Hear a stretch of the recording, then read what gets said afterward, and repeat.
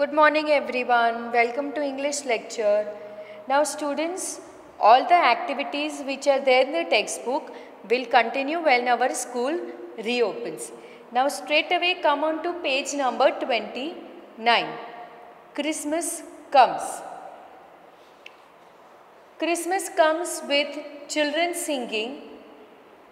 Christmas comes with sleigh bell ringings. Christmas आपको पता है क्रिसमस कब आता है? ट्वेंटी फिफ्थ दिसंबर को। और क्रिसमस क्रिश्चियंस का त्यौहार होता है। उनका न्यू ईयर होता है।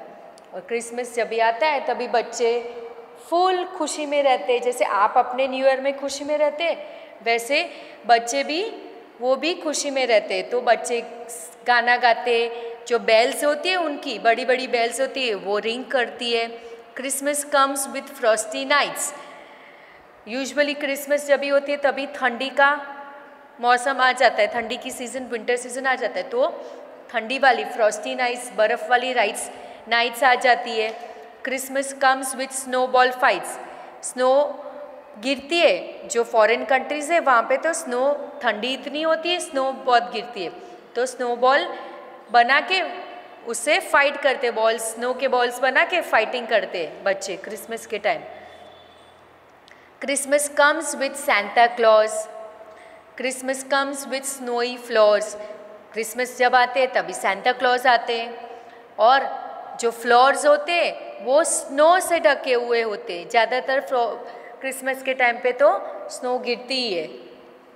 Christmas comes with robins and reindeers reindeers भी आते हैं रॉबिन्स भी होते जो क्रिसमस सांता क्लॉज की जो स्लेज होती है, वो रेंडियर ही चलाते हैं।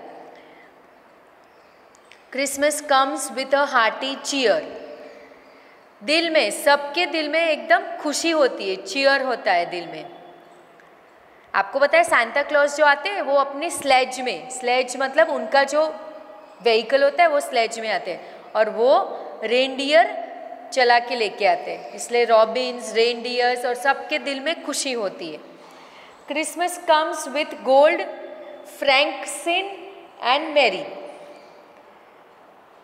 Christmas जब भी आते तभी गोल्ड लाते। क्रिश्चियंस क्या करते? एक दूसरे के, जैसे हम भी न्यू ईयर के टाइम पे एक दूसरे के घर पे जाते गिफ्ट्स भी देते। वैसे क्रिश्चियंस भी एक दूसरे के घर पे जाके गिफ्ट्स देते। तो गोल्ड देते। फ्रैंक इंस में मतलब क्या?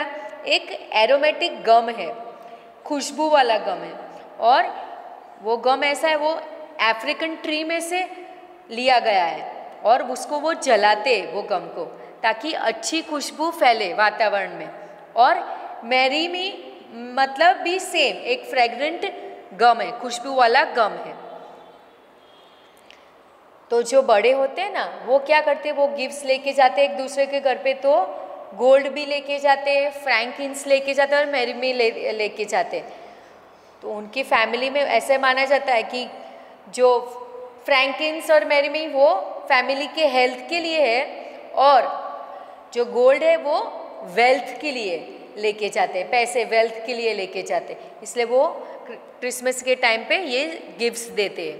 Christmas comes with Jesus birth उनके जो भगवान है जीजस क्राइस्ट उनका जन्म हुआ था तो वो टाइम पे वो क्रिसमस मनाते हैं। Christmas comes with angels from far angels आते आकाश में से, क्रिसमस के टाइम पे। वो ऐसे मानते हैं, क्रिश्चियंस, कि क्रिसमस के टाइम पे सब एंजल्स आते Christmas comes with a wondrous star जो स्टार्स होते हैं, पूरे स्काई में स्टार्स से भरा होता है वंडरस स्टार्स होते turn your page children Christmas comes now at last at last दिसंबर जब आता है, जब तब क्रिसमस आता है, क्योंकि साल ख़त्म होने के टाइम पे ही दिसंबर आता है ना, तब उनका एटलास क्रिसमस आ जाता है। Christmas comes like in the past जैसे पहले क्रिसमस आया था, वैसे ही क्रिसमस वापस आ जाता है। Christmas comes after such a long wait कितना लंबा पूरा साल ख़त्म होता है, फिर क्रिसमस आता है। जनवरी से लेके स्टार्ट होता है पूरा साल, और फिर एंड में पूरा साल ख़त्म होने के टाइम पे क्रिसमस आता है। तो कितना लंबे समय रुकने के बाद क्रिसमस आता है?